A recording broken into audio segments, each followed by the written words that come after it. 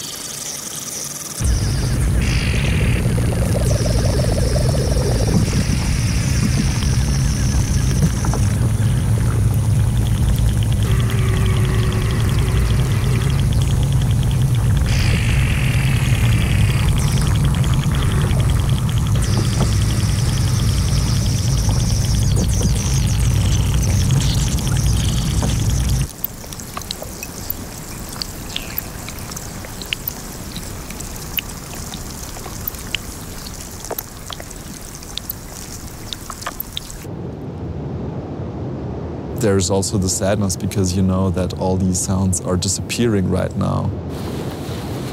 Of course, melting is something natural for glaciers, but the problem is that nothing new is coming back.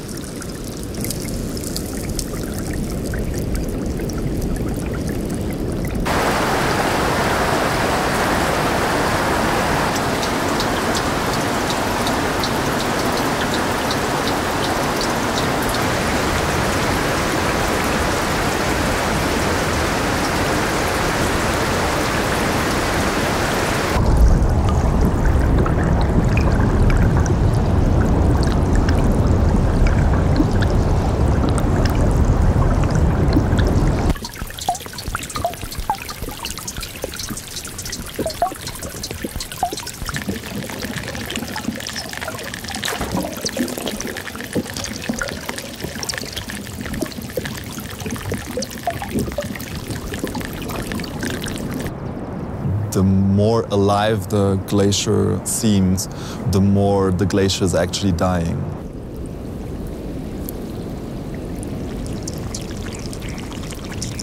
All the little air bubbles that are released are maybe 100 or 1,000 years old, and they make just a little plop sound, and then they're gone forever. This project is an attempt to conserve these very last sounds of the glacier.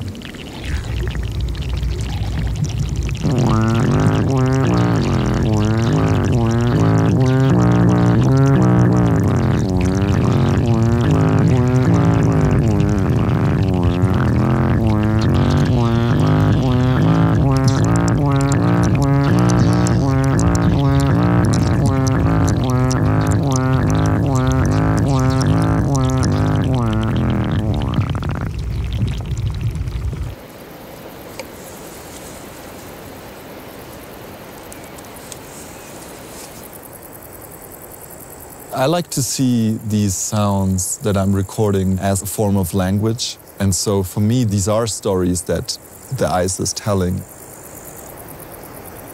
In our world, we're also silencing these voices of mountains, of glaciers, of rivers, of animals.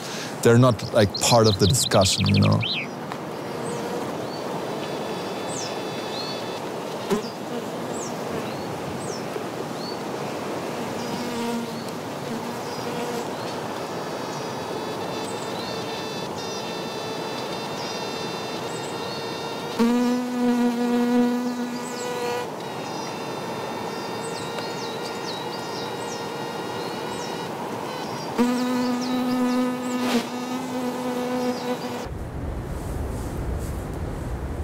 Glaciers have become really the symbol of climate change, but when you look at how the discussion about glaciers is, they talk mainly about resources.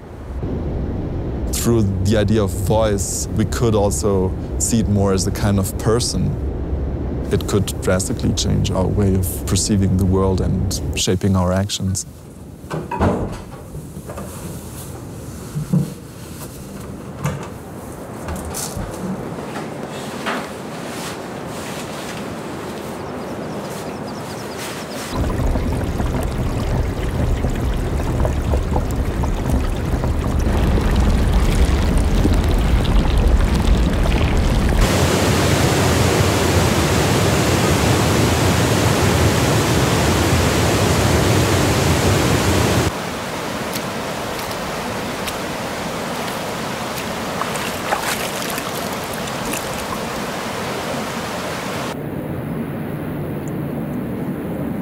Everything goes wrong, the glaciers are not there anymore in 100 years.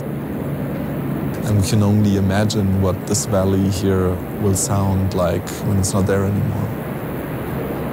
So it's almost like the, the last cry of the glacier in this valley.